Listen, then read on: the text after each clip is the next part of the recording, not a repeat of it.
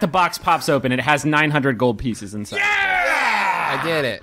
Way to persevere. I, we can't take these.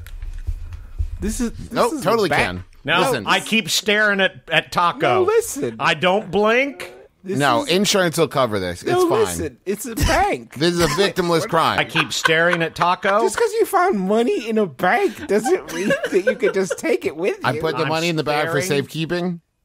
Great. I grabbed some chairs. Like I grabbed furniture. why, why are we looting? This isn't a dungeon. People do business here. Put that back.